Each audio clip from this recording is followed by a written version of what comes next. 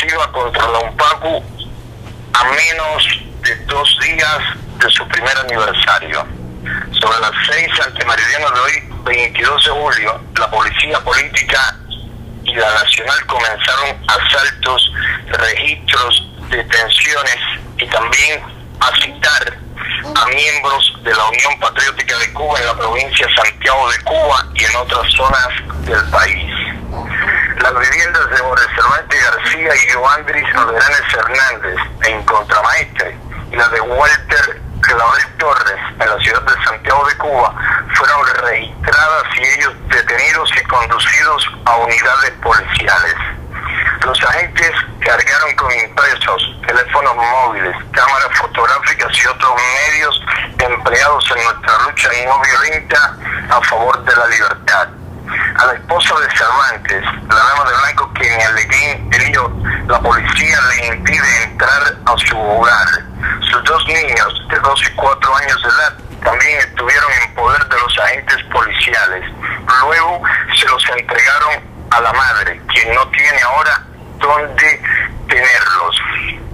El coordinador de la célula Wilman Villar Mendoza de la UNPACU en el reparto de Hermosa en Santiago de Cuba, Ovidio Martín Castellanos, fue detenido en la mañana cuando viajaba desde Santiago de Cuba para el Marito de Cauta. Carlos Martín Calderín de dicha célula fue detenido hace dos días y le acusan de un supuesto delito de amenaza. Antes de comenzar sus acciones represivas en contra de nuestros activistas, el Ministerio del Interior ordenó dejar sin servicio a más de 20 líneas de telefonía celular de miembros de la UNPACU, incluyendo el mío y el de mi esposa Belki Cantillo. Dado el nivel de, incomuna- de incomunicación y los fuertes operativos policiales desplegados en toda la región, no sabemos de otros activistas que pueden estar enfrentando también serios problemas. En La Habana fue detenido Hugo Damián Prieto Blanco, Afiliado a la Unión Patriótica de Cuba, y hay un operativo policial en torno a su vivienda. De otros activistas del grupo se desconoce su paradero. Pueden haber ocurrido otras detenciones. La pasada semana ocurrieron más de 10 registros en viviendas de miembros de la UNPACU o activistas de otras organizaciones con estrechos vínculos de trabajo con la nuestra, en las provincias de Holguín y Guantánamo. Las detenciones contra activistas de la UNPACU ocurren casi a diario.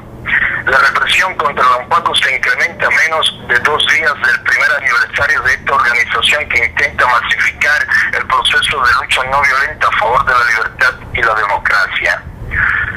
Por otro lado, hoy cumple 25 días en huelga de Unidad de Operaciones Policiales de Santiago de Cuba, Enrique Figueroa Miranda, y en la prisión de Valle Grande, en La Habana, debe llevar nueve días también en huelga de hambre Marcelino Abreu Bonora. Hace solo unos instantes conversé con el coordinador de la Unión Patriótica de Cuba en Velasco, Ibarra, provincia de Holguín, y me informa que fue citado para las seis de la tarde hoy en la unidad policial de dicho poblado. Tiene que presentarse ante un oficial de la policía política.